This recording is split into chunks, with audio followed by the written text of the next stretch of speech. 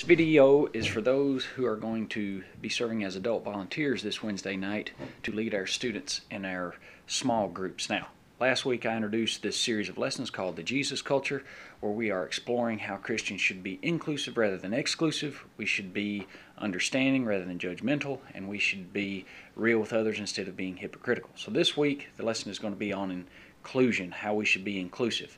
So we are going to look at John chapter 3 and do a character profile of Nicodemus, and then look at John chapter 4 and do a character profile of the woman of Samaria.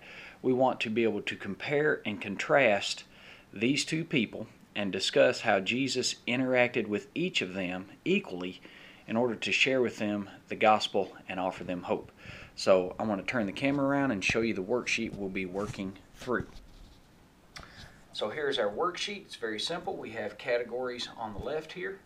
Uh, uh, you'll see there's gender, race, ethnicity, social status, reputation, uh, then morality, and then cultural customs, and religion and beliefs. Now, those will obviously be different for Nicodemus and for the woman of Samaria.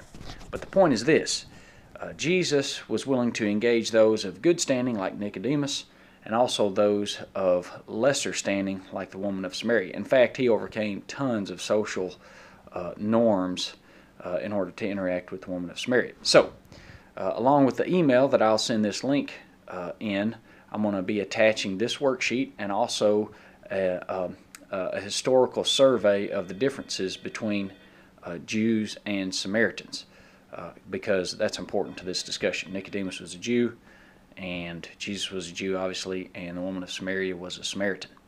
So, Lord willing, you'll be there. Uh, we'll open up with worship. We'll do our icebreaker game. Then we'll do a small introduction to the lesson, divide up in small groups, come back together, list this stuff on a big whiteboard, draw some conclusions, and man, we'll be praying that uh, that the Lord helps us learn to be more inclusive like Him. Amen. Talk to you soon.